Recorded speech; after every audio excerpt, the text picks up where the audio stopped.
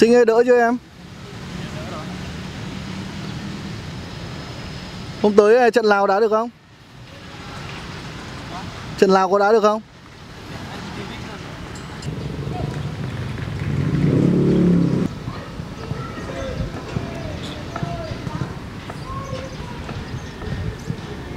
Ờ, Cửa hàng này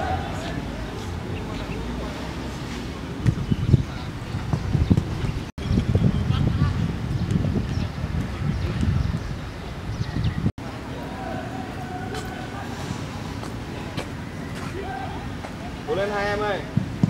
Cố lên trở lại.